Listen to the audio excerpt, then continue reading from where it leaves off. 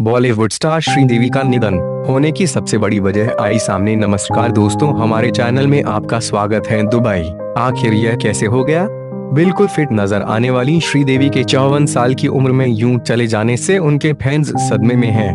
उनकी मौत की वजह दुबई के होटल में कार्डियक अरेस्ट हृदय गति रुकना बताया जा रहा है। हालाँकि पोस्टमार्टम रिपोर्ट के बाद ही इसकी पुष्टि होगी। उधर, मुंबई में उनके घर के बाहर फैंस जमा हैं। मुंबई के वर्सोवा स्थित उनके बंगले में श्रीदेवी की अंतिम यात्रा की तैयारियाँ की जा रही हैं। उनका शव आज दोपहर तक मुंबई लाए जाने की उम्मीद है। आइए जानते हैं श्रीदेवी की मौत से जुड़ी महत्वपूर्ण बातें।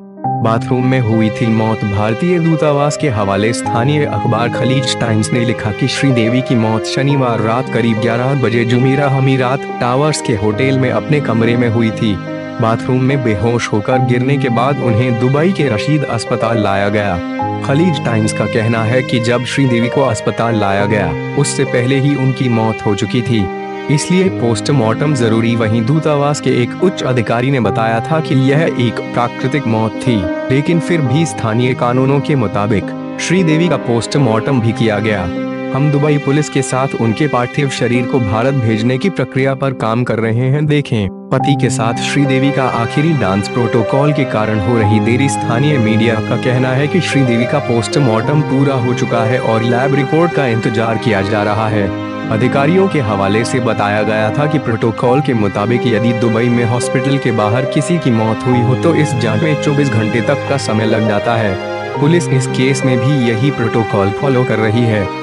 मुकेश अंबानी का प्राइवेट जेट दुबई पहुँचा श्रीदेवी का शव कुछ घंटों में दुबई से मुंबई आ जाने की संभावना है। इसके लिए देश के सबसे बड़े उद्योगपति मुकेश अंबानी का प्राइवेट जेट दुबई पहुँच चुका है।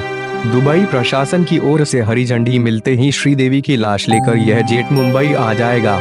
इधर, मुंबई के वर्सोवा स्थित भाग्य बंगले में श्रीदेवी की अंतिम यात्रा की तैयारियाँ की गई हैं। नहीं थी। कोई दिल की बीमारी बॉलीवुड एक्टर और बोनी कपूर के भाई संजय कपूर का कहना है कि जब श्रीदेवी की मौत हुई, उस समय वे अपने कमरे में थी। संजय का कहना है, हम सब हैरान हैं, क्योंकि उन्हें किसी भी तरह की दिल की कोई बीमारी नहीं थी। शाहरुख के साथ होगी आखिरी फ़िल्म। श्रीदेवी की आखिरी फ़िल्म मॉम थी जो पिछले साल 2017 में आई थी। इसे रविवार उद्यवार ने डायरेक्ट किया था और प्रोड्यूसर थे श्रीदेवी के पति बॉनी कपूर।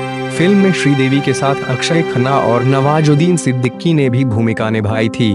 वहीं खबरें हैं कि शाहरुख खान की आने वाली फ़िल्म ज़ीरो में वे बतौर मेहमान श्रीदेवी के निधन से भावुक स्मृति ईरानी बोली, एक्टिंग में मेरे अंदर की अभिनेत्री को किया इम्प्रेस दुबई में श्रीदेवी को अकेले छोड़ मनमोहन शेट्टी की बर्थडे पार्टी अटेंड करने मुंबई लौटे थे बोनी कपूर। श्रीदेवी की ये आखिरी ख्वाहिश होगी पूरी। अंतिम संस्कार में होगा ये खास।